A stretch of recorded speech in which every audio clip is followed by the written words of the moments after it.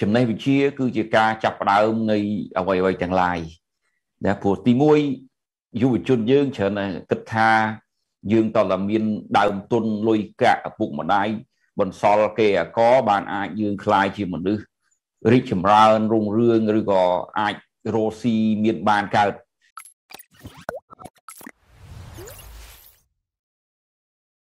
អញ្ចឹងខ្ញុំសូមបញ្ជាក់ឡើងវិញ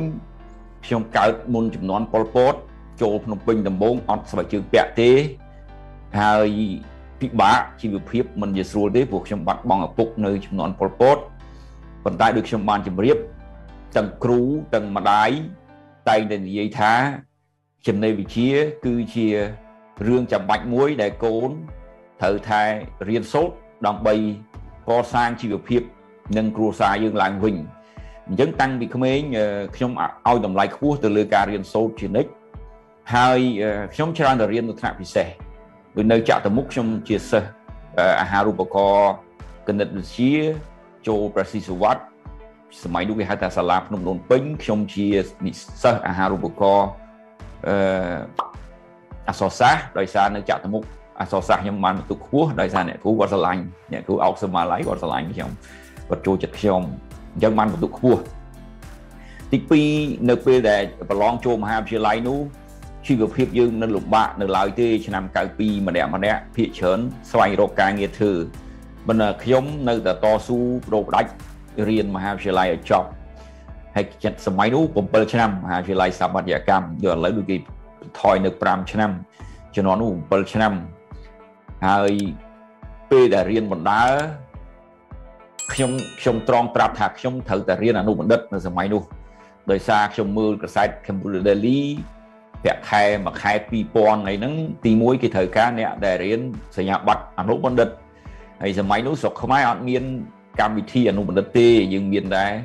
បរិញ្ញាត្រីទេបានន័យថាប័ណ្ណ Bachelor Degree អញ្ចឹងហើយខ្ញុំត្រូវតែខំរៀនភាសាអង់គ្លេសហើយយើងអត់មានលុយទៅរៀន ACE ដូចគេទេខ្ញុំហៅខ្ញុំតែងតែហៅខ្លួនឯងថា Street English បានន័យយើងរៀនតាមផ្លូវមានន័យថាយើងរៀនថោកថោក1ម៉ោង2 300រៀលអីចឹងទៅ ហើយខ្ញុំធ្លាប់រៀនថ្នាក់ ABC នឹងជាមួយកូនក្មេងព្រោះព្រោះខ្ញុំរៀនភាសាបារាំងមុនពីដើមដោយសារគេហាមភាសាអង់គ្លេសនោះហើយខ្ញុំនៅតែតាំងចិត្តយ៉ាងមុតមមថាខ្ញុំនឹងរកអាហារូបករណ៍ឲ្យបានហើយខ្ញុំដាក់ទៅសាលា2សាលាមួយគឺខ្ញុំដាក់ទៅ Oxford Group University នៅចក្រភពអង់គ្លេសខ្ញុំជាប់ខាង City Planning ក៏ប៉ុន្តែអត់មានអាហារូបករណ៍ទេជំនាន់នោះដូចជា3 40000ដុល្លារអញ្ចឹងទៅខ្ញុំក៏ចុងក្រោយជាប់នៅវិទ្យាស្ថានបច្ចេកវិទ្យាអាស៊ីដែលហៅថា AIT នៅប្រទេសថៃក៏ប៉ុន្តែសាកលវិទ្យាល័យបរទេសគេហៅ International School សាលាអន្តរជាតិពេលដែលខ្ញុំរៀនចប់ខ្ញុំមកស្រុកខ្មែរវិញឆ្នាំ2002បាតដៃទៅទេណាប៉ុន្តែមុខខ្ញុំញញឹមរហូតដោយខ្ញុំប៉ុស្តិ៍ Facebook អញ្ចឹងគេសួរហេតុអីបានញញឹម ដោយសារខ្ញុំមានចំណេះដឹងខ្ញុំមានបទពិសោធន៍ខ្លះមុននឹងទៅរៀនហើយការងារដែលគេឲ្យខ្ញុំមុនគេគឺប្រាក់ខែ1500មុនទៅរៀនអនុបណ្ឌិតមេរៀបចំការងារមួយនៅអង្គការសហជាតិនឹងប្រាក់ខែ950នៅចុងឆ្នាំ2000ហ្នឹងប៉ុន្តែដោយសារខ្ញុំជាប់អាហារូបករណ៍ខ្ញុំសម្រេចចិត្តថាខ្ញុំទៅរៀនហើយសម័យនោះខ្ញុំតែងតែនិយាយដដែលដដែលដីនៅភ្នំពេញថ្មី1ឡូ2000ដុល្លារហើយដីនោះឥឡូវ1ឡូជិត2លានមានន័យថា ប្រាក់ខែខ្ញុំជំនាន់នោះ1លានដុល្លារសូម្បីតែម្ដាយខ្ញុំដែលលើកទឹកចិត្តឲ្យកូនរៀនពេលដែលឮថាខ្ញុំបានប្រាក់ខែ950គាត់ថាកូនអើយរៀនប៉ុណ្ណឹងបានហើយកុំកុំរៀនច្រើនពេកព្រោះថាมันច្បាស់ថាយើងរៀនចប់អនុបណ្ឌិតមកវិញបានប្រាក់ខែ950ឬក៏1000ហ្នឹងទេចំណងហ្នឹងលុយច្រើនណាស់ឆ្នាំ2000ហើយខ្ញុំប្រាប់ទៅគាត់ថាម៉ាក់អើយយើងក្រឆ្អែតហើយក្រ2ឆ្នាំទៀតទៅមិនជាស្អីទេអញ្ចឹងបាន2002ខ្ញុំមកបានដៃទៅទេហើយការងារដែលគេឲ្យខ្ញុំមុនគេគឺ1500យ៉ាងតិច ហើយខ្ញុំមិនធ្វើទៀតខ្ញុំសុខចិត្តធ្វើកាន់គម្រោងម្ដង3អញ្ចឹងខ្ញុំទិញផ្ទះនៅខ្លួនឯងហើយតាំងពីក្មេងទិញកង់ជិះខ្លួនឯងទិញម៉ូតូជិះខ្លួនឯង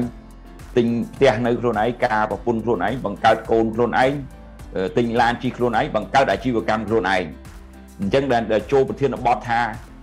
ចំណេះវិជ្ជានឹងការវិនិយោគលើចំណេះវិជ្ជាវាសំខាន់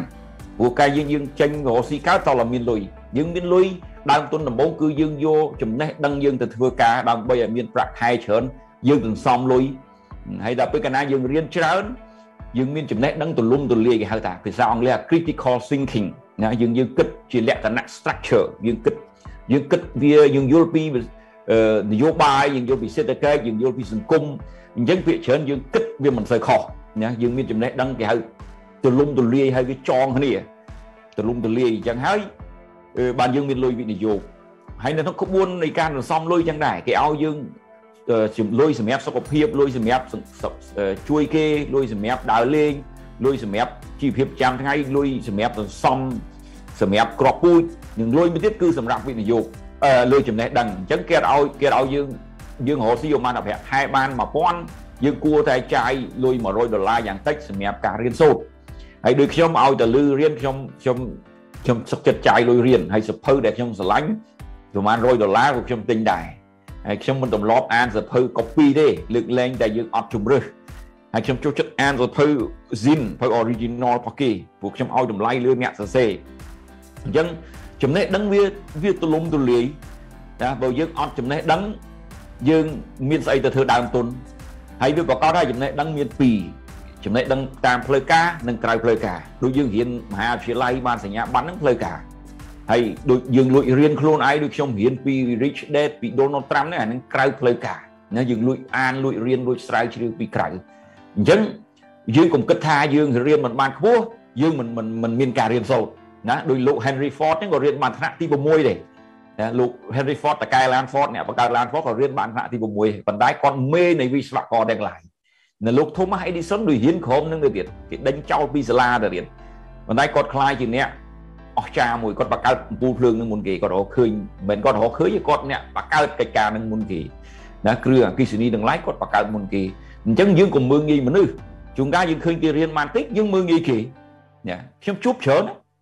អ្នកខ្លះគាត់រៀនបានបណ្ឌិតអញ្ចឹងទៅគាត់មើងងាយថាអ្នកដែលរៀនក្រោមគាត់គឺជាមនុស្សអត់ប្រយោជន៍ណាហើយកុំមើលអញ្ចឹងណា អ្នករៀនវាមានច្រើនអ្នកខ្លះរៀនបានតិចប៉ុន្តែគាត់រៀនខ្លួនឯងបានច្រើនដោយលោកគ្រូសំសម្បត្តិឬក៏មានបុគ្គលដ៏អស្ចារ្យមួយចំនួនទៀតដែលរៀនមិនបានច្រើនទេព្រោះព្រោះគាត់មានឱកាសរៀនដោយអាប់រ៉ាហាំលីនខុននៅក្នុងกระดาษ5ដុល្លារហ្នឹងគាត់រៀនបានថ្នាក់ទី2គាត់ឯងគាត់ខ្លាំងគាត់អានសភៅមកភូមិគាត់នៅឆើចហ្នឹងគាត់អានខ្ទេចគ្មានសល់ណាគាត់ធ្វើការរៀនដោយខ្លួនឯងអាហ្នឹងគេហៅថារៀនក្រៅផ្លូវការអញ្ចឹងការរៀនវាអត់ចេះបញ្ចប់ ណាយើងកុំយល់ថាយើងតរៀនមានសញ្ញាបត្រត្រឹមត្រូវបានគេថារៀនចំណេះដឹងពិតប្រកបនៅខួរក្បាលយើងនេះមិននៅលើกระดาษមួយសន្លឹកទេกระดาษមួយសន្លឹកគ្រាន់តែសក្ខីភាពណាខ្ញុំឃើញអ្នកខ្លះទៅរៀនបានបណ្ឌិតអនុបណ្ឌិតអីប៉ុន្តែរបៀបរបបធ្វើការការនិយាយស្ដីរបស់គាត់វាវាអត់ត្រូវជាមួយសញ្ញាបត្រហ្នឹងណាមានន័យថាគាត់គ្រាន់តែរៀនបដោយខ្លួនទៅយកសញ្ញាបត្រហ្នឹងដើម្បីអួតគេអួតឯងឬក៏ទៅទៅដឹងប្រពន្ធឲ្យបានស្រួលវាប្រកបដោយការងារជាច្រើន ត្រូវការសញ្ញាបត្រណាព្រោះអានឹងវាបញ្ជាក់ថាយើងបានរៀនប៉ុន្តែមានមនុស្សមួយចំនួនគាត់គាត់ឡើងតាមរយៈបទពិសោធន៍តាមរយៈការគាត់ខំស្រាវជ្រាវខ្លួនឯងចឹងសរុបរួមមកយើងមិនអាចចោលការរៀនសូត្រទេទោះផ្លូវការក្រៅផ្លូវការក៏ដោយឥឡូវចូលដល់យុវជនខ្ញុំយុវជនក្មេងៗឡើយដូចជាក្មួយខ្ញុំគាត់អត់សូវចង់ទៅរៀនទេព្រោះគាត់យល់ថាគាត់រៀនហើយអស់ហើយអញ្ចឹងបបួលគាត់ទៅរៀន Bachelor Master Degree គាត់អត់ចង់រៀនទេប៉ុន្តែខ្ញុំនៅតែលើកទឹកចិត្តឲ្យគាត់ទៅរៀនណាខ្ញុំថាចំណេះដឹងយើងទៅរៀននឹងបានមួយយើងចេះខ្លួនឯងនឹងបានមួយតែការរៀនសូត្រយើងចំណេញមួយទៀតគឺសង្គមតំណាក់តំណងក្នុងសង្គមកាលណាយើងទៅរៀនមហាវិទ្យាល័យទៅរៀនអីយើងស្គាល់មនុស្សមិត្តរួមថ្នាក់យើងដែលថ្ងៃក្រោយសុទ្ធតែអាចជួយគ្នាទៅវិញទៅមកបានណាអញ្ចឹងអានឹងរឿងសំខាន់អញ្ចឹងសរុបមកដើមទុន របស់យើងនឹងគឺចំណេះដឹងណាដូចខ្ញុំឥឡូវដល់កម្រិតមួយខ្ញុំចង់ធ្វើអីមួយត្រូវការលុយ1លាន2លានខ្ញុំសឹងមិនបាច់មានលុយព្រោះខ្ញុំមានគំនិតណាយើងគ្រាន់តែជែកជាមួយគ្នាយើង3 4នាក់ទៅមានលុយមកហើយអញ្ចឹងយើងអាចធ្វើគម្រោង4 10លានដុល្លារយ៉ាងស្រួលដោយមិនបាច់គិតពីរឿងលុយជាធំប៉ុន្តែបើយើងអត់មានចំណេះដឹងហ្នឹងយើងនិយាយរឿងលុយ1លានឬក៏1សែនដុល្លារហ្នឹងវាស្មុកយើងគិតវាអត់ចាញ់ណាអញ្ចឹង រួមសេចក្តីមកការវិនិយោគទៅលើចំណេះដឹងហ្នឹងទាំងចំណេះដឹងក្នុងប្រព័ន្ធទាំងចំណេះដឹងក្រៅប្រព័ន្ធគឺជារឿងអស្ចារ្យណាហើយខ្ញុំនៅតែលើកទឹកចិត្តថាអ្នកដែលមិនបានរៀនក្នុងប្រព័ន្ធក៏គួរតែមានការគោរពទៅដល់អ្នកដែលរៀនក្នុងប្រព័ន្ធហើយអ្នកដែលបានរៀនក្នុងប្រព័ន្ធគួរតែមានការគោរពទៅដល់អ្នកដែលរៀនក្រៅប្រព័ន្ធណាហើយយើងកុំកុំទម្លាប់និយាយអឺសញ្ញាបត្រនិងសញ្ញាឃើញណា បើមានទាំងសញ្ញាបត្របើហើយមានទាំងសញ្ញាឃើញទៀតអស្ចារ្យណាហើយបើយើងអត់សញ្ញាបត្រយើងមានសញ្ញាឃើញក៏អស្ចារ្យប៉ុន្តែយើងក៏មើងងាយអ្នកដែលមានសញ្ញាបត្រហើយយើងគ្រាន់តែមានសញ្ញាឃើញយើងទៅមើងងាយអ្នកមានសញ្ញាបត្រកុំណាព្រោះសុទ្ធតែជាចំណេះដឹងទាំងអស់ហើយយើងត្រូវទទួលស្គាល់គ្នាទៅវិញទៅមកជួនកាលគេនិយាយមុខខ្ញុំគេអួតពីសញ្ញាឃើញខ្ញុំសញ្ញាបត្រក៏ខ្ញុំមានសញ្ញាឃើញក៏ខ្ញុំមានអញ្ចឹង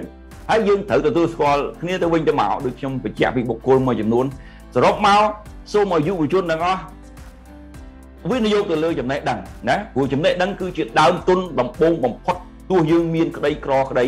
ការខ្ញុំបង្រៀននៅមហាវិទ្យាល័យខ្ញុំតែងតែប្រាប់យុវជនថាពេលដែលបងប្អូនមករៀន Bachelor Degree បងអូនឈានចូលក្នុងសង្គមកណ្ដាលហើយគេថា middle class ណាទោះបងអូនជាកូនកសិករកូនអ្នកក្រីក្រវេទនាតោកយ៉ាលំបាកយ៉ាងណាក៏ដោយកាលណាយើងរៀនចប់ Bachelor Degree ហើយ ទី1គឺយើងនឹងមានការងារធ្វើសំរួមមួយអាចចិញ្ចឹមជីវិតបានដែលខ្ញុំហៅថា middle class ឬក៏សង្គមកណ្ដាលហើយបន្តមកទៀតយើងយកដើមទុនសង្គមកណ្ដាលនេះដើម្បីបង្រិចខ្លួនទៅទៀតអាចคล้ายទៅជាសង្គមមួយជាន់ខ្ពស់ជាងសង្គមកណ្ដាលតាមរយៈចំណេះដឹងរបស់យើងតើយើងបានស្រាវជ្រាវប៉ុណ្ណាយើងបានរៀនសូត្របន្តបានប៉ុណ្ណាហើយយើងមានសមត្ថភាពនិងភាពក្លាហានប៉ុណ្ណាបាទសូមសូមអរគុណបាទ